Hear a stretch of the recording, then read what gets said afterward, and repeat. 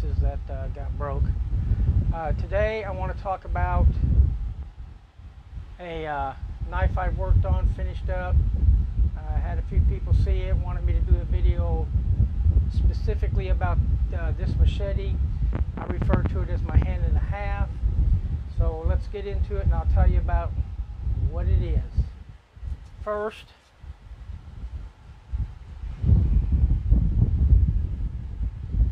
let's talk about the sheath, uh, which I made. This is pine. I did that because of the weight, stained.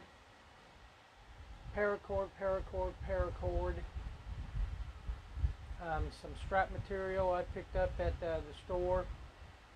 This strap material I picked up at an estate sale. I try to get as much as I can from garage sales and estate sales. Um, a lot of my knife sheaths are just single wrapped up here. This has got the uh, two other ones because this strap comes down to this piece right here. Because of the length of this blade, excuse me, I added this little loop, not loop, uh, piece of material so that a leg strap can be put in. Uh, this is a leather belt material that I'm going to cut down and do a two ring uh, strap. Uh, I may offer it with this. I don't know. A lot of people like to use different material with clips or stuff on them. Uh, but I'm going to do a uh, leg strap, uh, what they call a, a two ring strap. Uh, I also have a two ring belt that I made that I carry these on.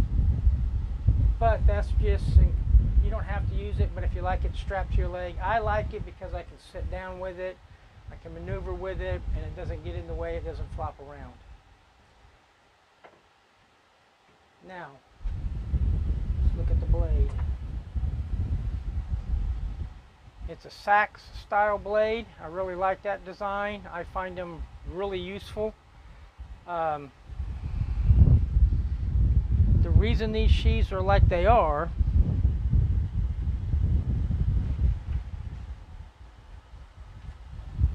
that's for someone who carries their uh, machetes on the right side.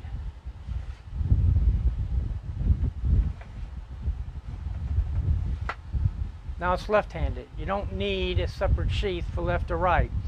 I sometimes carry mine on the right, sometimes I carry it on the left. Mostly on the left, but occasionally on the right. It gives me the option to flip it around.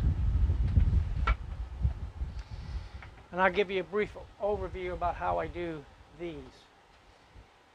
Um, single knot or a uh, double loop through knot. Um, I use that most of the time Get this up here. Oh, sorry.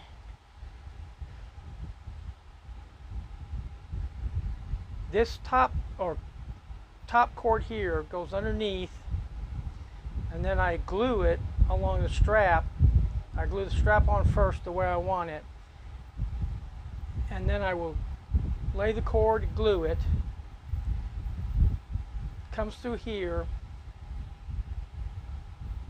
and then you start wrapping it around to secure it and then right here I put in a piece of string laid it down and then finish wrapping it up to here when this cord comes through I loop it through the string and pull it all down through here and melt the ends that's just a light overview there's videos out there and I might do a video about how I exactly how I do that if people are interested in it that's the sheath. Now this is a heavy blade. And I hear people talk, I want a lighter blade, I want a lighter blade. And I know this isn't politically correct, but man up, people. These are working blades. Um, they're tough. They're made to be used. They're made to be beat against wood and cut wood. That's what they're there for. To do that, you need a heavier blade. All right. There's the machete. Leaf springs from a small car. really like this material. Really tough. Old handle, aluminum pins. The pins I use are what I have on hand. Um, the whole deal with afterfall knives is that uh, these are made from scrap. They're made, it's kind of like in the video games, post-apocalyptic, uh, into civilization. Um, that's what these are, using what materials you have on hand. I have some knives that are made with bed frames. I really like bed frame material. Uh, lawnmower blades, most of them make really good knives. I'm going to start doing some experimenting with some files. And um, for you people who collect files, I don't use the old expensive ones just because they're collector's items now. But this blade, I've really never measured this blade.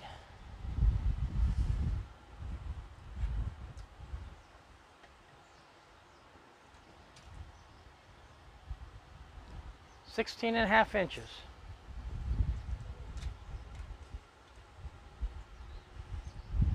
Twenty-three inches overall. So it's a it's a pretty big, pretty robust blade, and it's hand and a half. I made it this way because you can hold it like this, give you a little bit extra swing, but the main advantage is, oh, let me get it in there, double-handed. And as you can see, uh, depending on your hand size is where that pommel will fit. Mine's about right here, maybe down a little bit, but it gives you a good grip.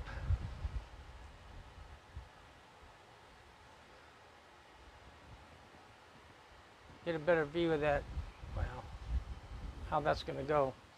But it gives you good grip, two-handed, a lot of power for a power stroke. Another good thing about this blade is it can be used as a uh, draw knife. Take bark, shape some wood. Uh, I'm actually going to try to make one of those. It's a pretty thick blade and the profile on this blade is closer to being a hatchet or an axe because you can split wood with this, you can baton with this. Um, when you hit the branch or whatever, it's it's it's going to move wood. Um, will it strike as deep as a uh, thinner blade? No. Um, but it won't suffer from the uh, drawbacks of having a thin blade. If you hit a knot or something, you might chip or turn that, roll that uh, blade over, that edge over. Um, this, I have beat hardwood with it, and it just shrugs it off. Uh, it doesn't bother it at all. And it holds, it's been holding an edge uh, very well. I do the heat treatment on them uh, some of them I leave after I quench them because I want the hardness of them. It does make them a little bit more brittle, and when I get to those knives, I'll explain that. But um, get a lot of good responses from this blade.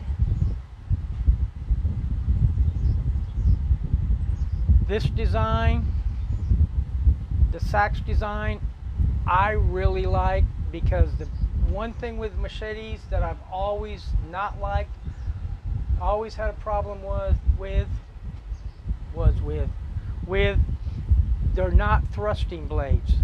With this, you can stab with it. And people are going to say, why do you need to stab with a machete? Uh, when I was in Oklahoma, teenager, fishing on pond with in ponds and stuff, we would have to cross property with cattle, horses. There was coyotes out there, pigs. Um, it was important to have something that you could defend yourself with. Uh, because there's animals out there that don't want you out there. Rabid animals. And having something long and pointy on the end is very important. And that gives me this ability without having to make a makeshift spear. But there it is. I really like this design. I really like the way it looks. Let me put it back in the sheath.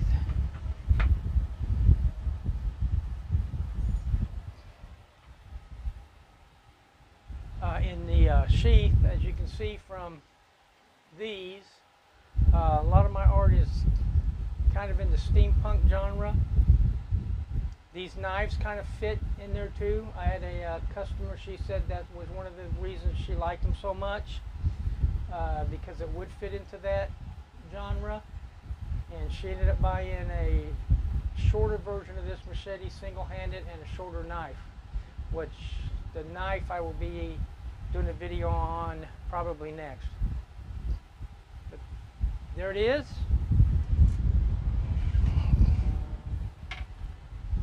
There's the blade, the whole knife. Excellent knife, robust, gets the job done. Um, this handle is fit for my hand or people who hands are about like mine. I do have the ability to change the handle design um, to fit individual needs. And I'm going to do some with curved handles maybe curved blades. I don't haven't decided exactly yet. But there's the uh, hand and a half machete. Um, this is one of my blades I do have for sale. Uh, I'm working on a uh, getting them up on a web page, but if anybody's interested, just drop me a line and uh, I'll get in touch with you. Uh, but this is so far the longest blade that I've made. Another thing I like about this blade, I just remembered, when I quenched this, like I plunged it into the end of this, and then started raising it out to here. So this is quick plunge, and then I just started lifting it out until I got it to right about here, and then I let it cool down to the point where I wanted to let it cool down, and pulled the whole blade out. And what that means is this is not as hard as this. This is not as hard as this gradually gets harder as it gets to here. The reason I did that, because it's a hand and a half and because it's going to be power swung, when I hit wood with this, there's nothing in this handle. There's no vibration, which means your hand's not going to get fatigued. Um, it's my son described it as almost like hitting nothing. The blade just stops. You don't feel it into the handle. So when you're chopping with this, you're not going to get a fatigued hand. You're not going to get cramps unless you use it all day. But it's going to reduce the stress on the hand, on the wrist, even the elbow. And uh, that's one of the reasons I quenched it that way. To get softer metal up here to help absorb that shock and I have not had any problems with breakage or anything else. I mean, this blade's been holding up real well. But um, this is my latest design, and the, I'm going to do other videos on the other knives. But uh, like I said, if you're interested, let me know. Uh, like and subscribe if you like my content and want more. Uh, make a comment if you have any suggestions for videos. But, oh, excuse me, I really like this blade. I like that seax design and I'm going to be doing more of them. Alright, this is an update to the uh, video you just watched. I added some stuff to the uh, sheath uh, for that uh, hand and a half machete. And before I did this, people who've seen it said it was a uh, badass machete. Now it is. This is uh, the machete. This is the one you take out when you're uh, telling people I mean business and uh, try to keep up. Uh, this is a leather belt, two ring belt. This is a two ring strap for the leg. Um, with this belt, you can put a, another knife on it, another other equipment put it on over your uh, belt that's holding up your pants and that allows you to remove it or put it back on whenever you need to. Um, I plan on carrying the machete with it and maybe another uh, tool, and the knife will be on my regular belt because uh, I want it with me all the time. The leg strap, when when it's in use, it keeps it up out of the way. It's easier to get around, and you can sit down with this leg strap on it. Keeps the uh, sheath from hitting chairs, logs. Um, this makes it a lot easier to move around in uh, and uh, not have that thing just dangling there on your side. Uh, these I made pretty quickly. They're pretty crude. They're just prototypes. This I did in about 10 minutes. They're real easy to make. I get these uh, the rings from uh, um, Hobby Lobby. I get these from Hobby Lobby, and they are screw ins, and I Loctite them. But um, as you can see, let me prop that up. Oh, and the blade can still be taken in and out uh, when it's in this configuration. But this just allows you to, uh, oh, uh, carry it without having to put it onto your uh, regular belt. This uh, straps it to your leg, makes it easier to get around on. But those are the updates I made. Um, I think it's a big improvement. I like the way it looks, like the way it handles. But I'm going to start uh, making these and these because um, I think they're a really good add-on to these sheaths. But anyway, that's the update. That's what it looks like. And um, leave a comment. Tell me what you think. Thanks for watching the video.